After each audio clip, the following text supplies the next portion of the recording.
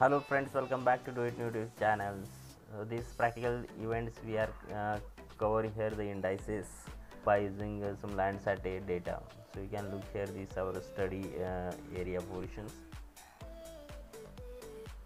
so just uh, go to the composite band go to the imagery menu and uh, in between having the indices.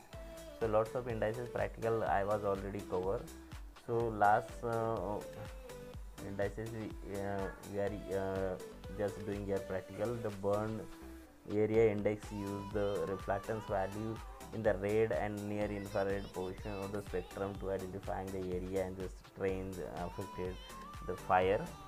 So it is useful to uh, those area are burning uh, by farmers or crop uh, burn to for the uh, uh, pollution increasing. So that's why we just looking here. So let's we do uh, the practical within a 5 minutes. So just go to the uh, uh, options selecting here the composite band.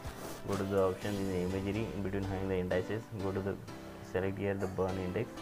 Selecting the first band is a red band. Already we know that it is a landsat data. So uh, band number uh, 4 is a red band.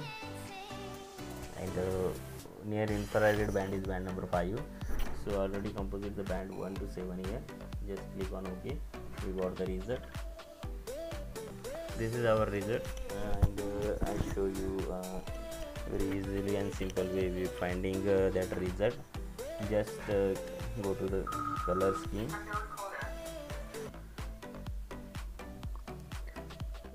So like we got the result uh, you can see here we change the color ramp and uh, we got the result it is a few minutes are required.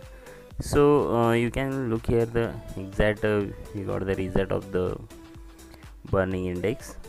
We will meet on the next practical sessions. So i request to you share and subscribe my youtube channel. We call is a do it new